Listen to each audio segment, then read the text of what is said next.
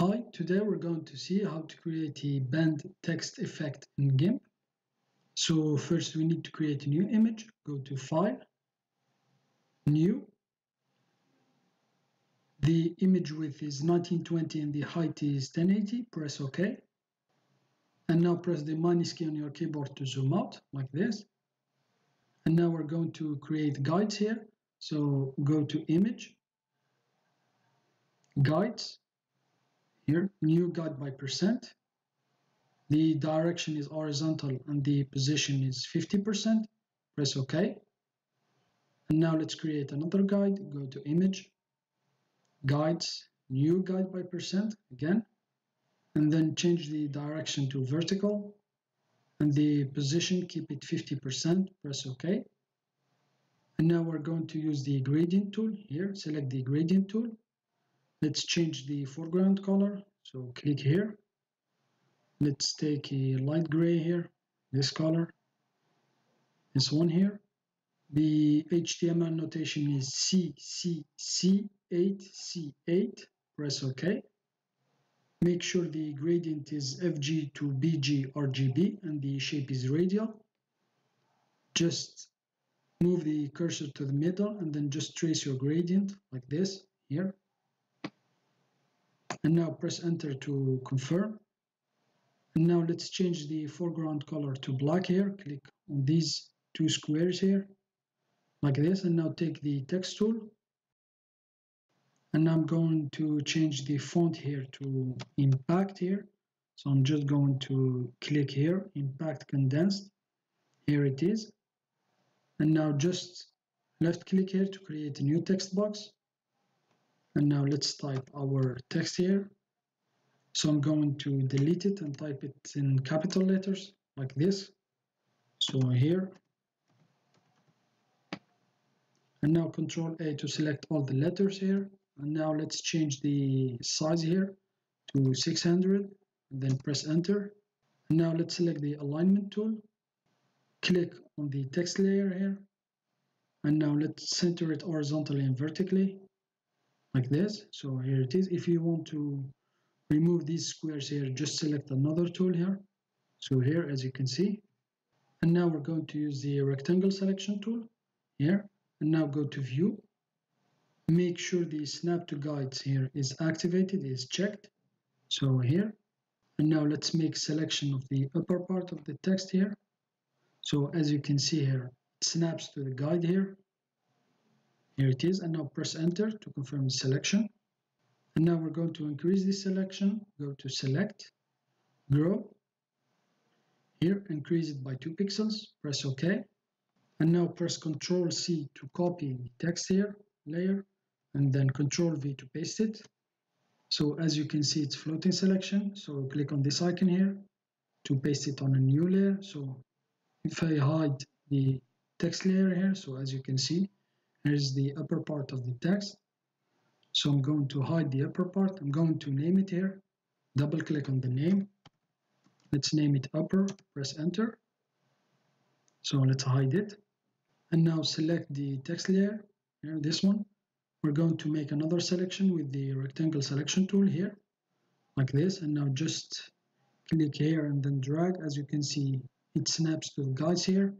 Press enter and now we're going to do the same thing. We're not going to increase this selection. Just press Ctrl C to copy and then Ctrl V to paste it. So here again, it's floating selection. Click on this icon here. So here it is. Let's hide the text layer. So here's the bottom part of the text. Double click on the name here and then let's name it bottom. So here, press enter. And now we don't need the text layer, this one here the original one. So press the X icon here to delete it. So here it is. Here are our upper and bottom layers. And now we're going to create select uh, to create guides from from the selection here. So now we're going to use the rectangle selection tool. Check the expand from center here. So here. And now move the cursor to the center and then just trace here like this so I'm going to to create the selection here I think. So here it's okay here. Here it is press enter. And now go to image. Here guides. New guides from selection. It will create guides from the selection here. So go to select. None to remove selection. So here are they. And now let's create other guides here. So move the cursor to the center again so we're still on the rectangle selection tool and the expand from center is checked. So here and then from the center here we're going to create guides here like this. So we're going to I'm going to create them here. So here like this. So maybe I'm going to increase it like this. And now press enter. And now again go to image guides here. New guides from selection now go to select none. And now we're going to use the perspective tool here this one here select it and then press the plus icon here to zoom in like this. So here as you can see we are selecting the upper layer click on it. Now click on the triangle here so like this so we can move the window. So here. And now we're going to move this handle here to this guide here like this. Make sure to follow the dotted yellow lines here. So here and now let's move the window here the perspective window here. And now let's move the left handle. This one here move it same time. Here uh, same thing here sorry. So make sure to follow the line here the yellow dotted line here. And then as you can see since we checked the snap to guides the handle here is going to snap to the guide. And now just click here transform to confirm the perspective transformation. So here it is. And now press the minus key on your keyboard to zoom out. And now let's select the scale tool here. Left click on the upper layer. This one we just use the perspective tool on it here. So as you can see here the chain icon here is linked. So keep the shift key down while dragging from one handle we will scale it from just one side here so here like this. So here it is and now press enter to confirm the scaling. So now we're going to use the perspective and scaling on the bottom layer. Select the bottom layer here. Press the plus key on your keyboard to zoom in like this. Select the perspective tool here.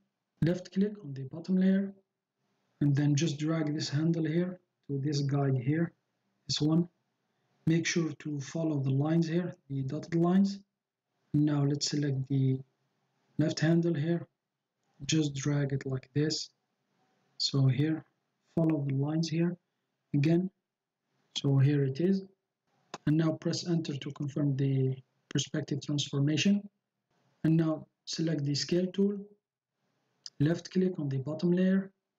So here as before the chain icon here is linked so keep the shift key down while scanning. We're going to scale it up. So here from this handle and then just bring down the handle like this. So here. And now press enter to confirm the scaling and now press the minus key on your keyboard to zoom out. And now let's remove the guides here. Go to image. Guides. Remove all guides. So here and now I'm going to put images inside the these layers here the bottom and upper layers. I will put the link of the images in the description box. I will bring this one here. Here it is. So here it is. Now let's hide the upper layer here. So like this. And now let's place the image layer here under the bottom layer. This one here and then select the bottom layer and reduce the opacity here so that we can see the image. Select now the image. Now we are still on our scale tool. Select the scale tool here. Left click we're going to scale it. And now keep the control key down to scale it proportionally. Make sure to cover all the layer text here so the bottom layer. So here I think it's okay. And now click scale and now select the move tool. And now we're just going to move the image here inside. So we keep what we want from the image here. So here make sure to cover all the uh, all the bottom layer here. And now select the bottom layer here. Right click on it here. Alpha to selection. It will make selection of what's inside the layer here. And now let's hide it select the image layer this one here. Right click on it. Add the layer mask here. And then check the selection layer mask. Press add. So as you can see just kept the selection from the image. And now here right click here on the layer and then apply layer mask. Here it is. And now go to select. None to remove the selection. So here and now we're going to do the same thing for the upper layer here this one here. Let's bring our second image here.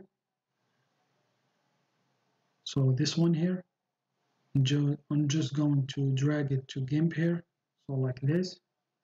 So here and now convert it. So as you can see the image is quite big so we're going to use the scale tool. And now left click on the layer the image layer. And then as you can see here the chain icon here is linked. So click here on the width and then type the backslash here and then 3 it will divide the width and the height on 3 here at the same time then press enter. So here it is. And now let's confirm the scaling. And now press the minus key on your keyboard here. Select the move tool. Now let's move the image layer here down here. Press the plus key on your keyboard to zoom in here and now select the upper layer here. Reduce the opacity so that we can move the image inside. So here for the bottom layer here uh, this one here we don't need it anymore. This one here can delete it press the X icon here. And now let's show the upper layer again and the image again. And now let's move our image here so that we keep what we want from the image here so here I think I'm going to keep it like this here. So now the same thing as before. Select the upper layer right click on it alpha to selection. And now hide the upper layer select the image layer right click on it add the layer mask and then check the selection layer mask add.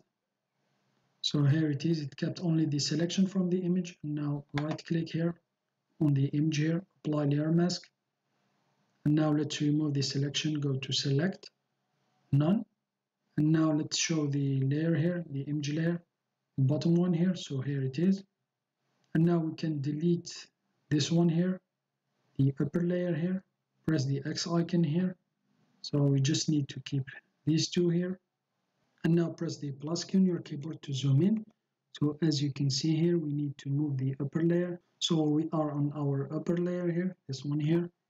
Press the control key here to move it on the same line here while moving it. So here, it's okay here. Now press the minus key on your keyboard to zoom out. So here it is. And now hide the background layer. Click on the eye icon here. Right click on the upper layer, the image layer here, the first one, new from visible so here it is. And now let's show the background layer again. So here the we don't need these two images. So press the X icon here so like this. And now just show here click on the eye icon here to show the upper layer here. Select the upper layer. And now we're going to add shadow here to this layer.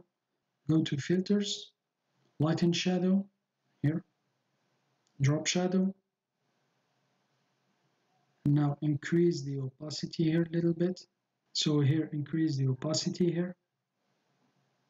So here I think it's okay and now press OK and now press the minus key on your keyboard to zoom out here and then right click here the image layer the first one new from visible. So here it is. That's how you can create a bend text effect in GIMP. Thanks for watching. Have a nice day and uh, till next time